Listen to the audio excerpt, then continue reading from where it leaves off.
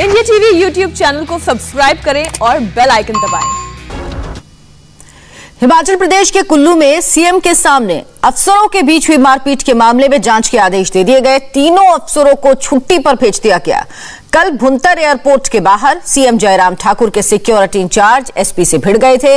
SP ने security in charge को थप्पड़ मार दिया था। उसके बाद सीएम के सुरक्षा में लगे गार्ड एसपी को लातों से मारने लग गए थे। एसपी साहब को क्यों एसपी साहब को क्यों एसपी साहब को क्यों एसपी साहब एसपी साहब को क्यों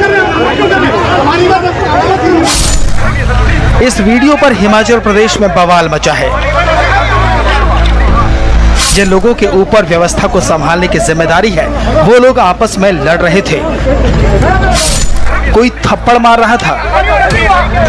कोई लात मार रहा था, कोई बचा रहा था तो कोई रोक रहा था।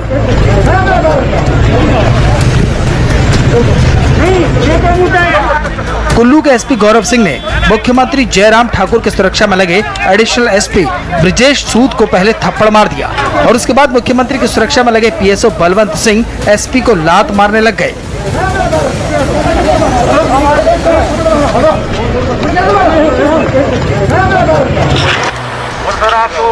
दरअसल केंद्रीय मंत्री नितिन गडकरी कुल्लू दौरे पर पहुँचे थे। भुंतर एयरपोर्ट पर सीएम जयराम ठाकुर स्वागत के लिए पहुँचे थे। कुछ स्थानीय लोग नितिन गडकरी के समर्थन में नारेबाजी करने लग गए और इस नारेबाजी के दौरान ही बवाल हो गया हेलो एसपी साहब को क्यों मार रहे एसपी साहब ने मुझे कहने क्यों एसपी साहब को क्यों कर रहे हैं क्यों कर रहे हैं हमारी बात पता नहीं क्या बहस हो गई। सुरक्षा कर्मी और एसपी के बीच कि सारे कैमरे सीएम और मंत्री को छोड़कर पुलिस वालों की लड़ाई कैद करने में लग गए।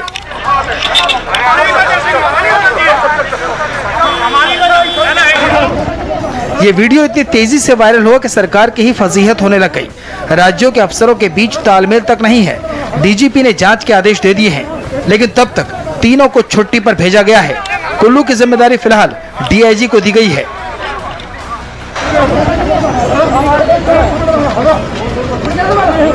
कितनी अजीब बात है। जिन लोगों को ट्रेनिंग से लेकर दफ्तर तक में प्रोटोकॉल के बारे में समझाया जाता है, जो जनता को प्रोटोकॉल समझाते हैं, वही अफसर कल प्रोटोकॉल भूलकर गली के गुंडों की तरह लड़ने लग गए।